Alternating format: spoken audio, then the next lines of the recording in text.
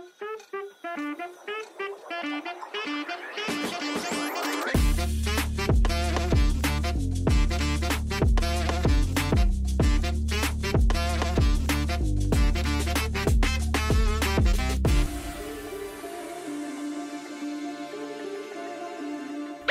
วันนี้นะคุณผู้ชมหน้าตาจะดูแปลกตากันไปนิดนึงนะคะวันนี้เราอยู่กันนอกสตูดิโอนะคะและนี่คือ vivo flagship store นะคะ แห่งแรกใน Southeast Asia แล้วก็แห่งแรกในประเทศไทยด้วยนั่นเองค่ะ โดยที่นี่เนี่ยมันจะอยู่ที่สยามพารากอนชั้น3เดี๋ยวเราจะพาทุกคนไปดูกันว่าเขามีอะไรให้เราไปดูบ้างค่ะ แล้วตัวนี้นะคะก็จะเป็น accessory เสริมนะคะที่จะทำให้แบบการช้อปปิ้งของเราใน vivo flagship store เนี่ยมันดูน่าสนใจขึ้นอะมาดูทางนี้นิดนึงนะคะอันนี้ก็จะเป็นพวกลำโพงนะของ Harman Kardon นะคะซึ่งอันนี้เนี่ย ใครที่รู้จักกับ Harman Kardon อยู่แล้วเนี่ยก็คงจะรู้แล้วว่ามันยิ่งใหญ่ขนาดไหนนะคะไหนแล้วก็ตรงนี้นะคะเป็นแบรนด์ระดับชั้นนำของโลกเหมือนกันนี่คือ B&O Bang Olufsen นั่นเองนะคะ Bang Olufsen เนี่ยก็จะเป็นแบรนด์ชั้นนำของโลกในเรื่องเครื่องเสียงเหมือนกันอะอันนี้มีหูฟังที่แบบดูหลาด้วย แล้วก็ยังมีอีกแบรนด์หนึ่งที่ดังเหมือนกันนี่ค่ะนี่คือ Bose นั่นเองนะคะอันนี้ก็จะเป็นแบรนด์ที่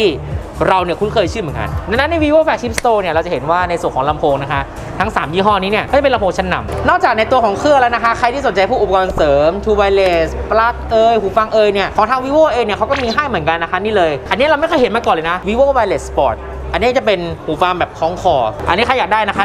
1,999 บาท อันนี้เราเห็นครั้งแรกที่นี่เลยนะ เราไม่เคยเห็นที่อื่นเลยนะคะ แล้วก็มีพวก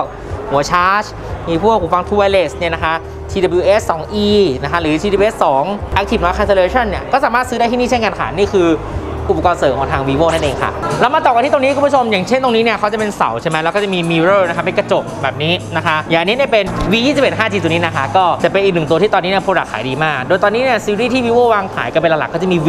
แล้วก็ X series ใช่ไหมที่แบบเน้นมาเลยในเรื่องของกล้องถ่ายภาพนะคะอะมาดูอย่างซีรีส์ V ตัวนี้นะคะ V 21 5G ตัวนี้เนี่ยก็จะเน้นในเรื่องของกล้องถ่ายภาพ แล้วก็เรื่องของ OS กันสั่นที่จะเน้นในเรื่องของงานวิดีโอต่างๆได้นะนะคะ แล้วก็ตอนนี้เนี่ยแบรนด์ vivo ก็จะเป็นเหลืออยู่ไม่กี่แบรนด์แล้วที่ยังทำเทรนด์แบบไล่สีอยู่นะคะที่อยากได้มือถือแบบโทนไล่สีอะไรแบบนี้เนี่ยก็จะมี vivo นะคะที่เป็นตัวเลือกที่ดีค่ะ เราไปดูซีรีส์ที่กำลังมาแรงตอนนี้ดีกว่าครับ ต่อมานะคะนี่คือรุ่น V 23 e นะคะนี่ก็เป็นอีกหนึ่งรุ่นที่โดดเด่นมากๆของทาง vivo นะคะในซีรีส์ V ที่มีตัว e อยู่ ก็จะเน้นในเรื่องของกล้องถ่ายภาพนะคะกับชิปเซ็ตที่เป็น 5G นั่นเองนะคะในราคาที่ไม่แพงเลยนะคะ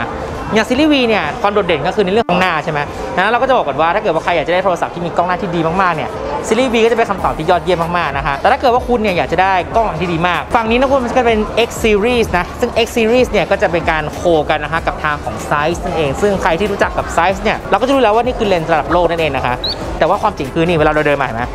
พอเดินมาใกล้ๆปุ๊บตรงกระจกตรงนี้นะคะมันก็จะเปลี่ยนเป็น spec sheet หรือว่าเป็นแบบ สเปคต่างๆ พร้อมราคานะคะรวมถึงอย่างที่เราบอกไปว่า แต่ละเสาเนี่ยมันจะมีไฟ softlight อยู่ดังนั้นถ้าเกิดคุณอยากได้ประสบการณ์ในการถ่ายกล้องหน้าที่ดี คุณจะต้องมาถ่ายตรงเสานี้นะคะเพราะเขาออกแบบมาให้คุณถ่ายรูปเซลฟี่ที่สวยที่สุดที่เสานี้ โอเคไหมคะสำหรับใครที่อยากได้มือถือราคาไม่แพงนะคะ vivo เนี่ยก็จะมี Y series อยู่นะคะตัวนี้คือ Y 3 3 S อย่างที่เราบอกว่าพอเราเดินเข้ามาใกล้ๆปุ๊บเนี่ยนะคะเขาจะมี spec sheet ให้เรานะคะบอกเลยว่าเนี่ยราคาเท่าไหร่รุ่นอะไร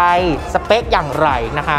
ก็ทำให้เราเนี่ย รู้สึกแบบเอาตรงนะเวลาแบบเราไปซื้อมือถือใช่ไหมบางทีจะต้องมีพนักงานมาคอยบอกนู่นบอกนี่เนี่ยแต่อันนี้เนี่ยคือพอเราดูอย่างนี้ได้เนี่ยมันก็จะรู้สึกแบบผ่อนคลายมากขึ้นดู friendly มากขึ้นนะคะ ก็สามารถเลือกซื้อมือถือได้ง่ายขึ้น ดังนั้นใครที่สนใจตัว Y series นะคะ ก็สามารถมาดูได้ที่นี่เช่นกันค่ะ และ vivo flagship store ที่นี่นะคะ ยังออกแบบมาในคอนเซปต์ของ joy of humanity นะคะ ก็คือสุนทรียศาสตร์ในแบบมนุษย์จะเห็นว่าตรงเก้าอี้ต่างๆ ที่เขาออกแบบมาเนี่ยจะมีความโค้งนะตามแบบความสุนทรี ในรูปแบบของแบบมนุษย์อะแล้วก็มีกระจกข้างบนเนี่ยให้เรารู้สึกไม่อึดอัดประมาณนี้นะคะดังนั้นใครที่เข้ามาที่นี่เนี่ยก็จะรู้สึกแบบว่าโปร่งสบาย แล้วก็รู้สึกว่าธรรมชาติผ่อนคลายอะไรแบบนี้นะคะ นอกจากนั้นการออกแบบที่นี่เนี่ยเขายังออกแบบมาให้เขาเลื่อนตรงนี้ได้อีกด้วยนะคุณผู้ชม แล้วฉันมันเลื่อนอะไรอยู่ตรงนี้ก็ไม่รู้เนี่ยนะคะสามารถเลื่อนที่จะทำพื้นที่จัดโซนต่างๆ ได้อีกด้วยในทาง vivo เนี่ยเขาบอกว่าถ้าอนาคตมีกิจกรรมเนี่ยที่นี่จะแบบสามารถปรับได้หลากหลายมาก ๆ เลยเท่ไหม เออ